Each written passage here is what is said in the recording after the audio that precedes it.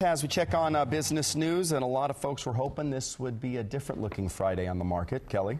Yeah, we all were, and especially when it comes to the jobs report. It came in, it was well below expectations, although the headline number is the unemployment rate actually dropped from 8.2 to 8.1 percent, but that's kind of a false reading because that's that has more to do with people who are actually so discouraged they don't even consider themselves to be part of the workforce anymore.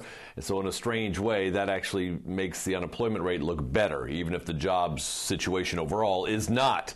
Let's check the real-time numbers. Dow Jones Industrial Average currently down 83 points at 13,123. Nasdaq and S&P both solidly in negative territory as well. However, we did gain 115,000 jobs last month, again below expectations. The February and March number were, were those numbers were revised upward by better than 50,000.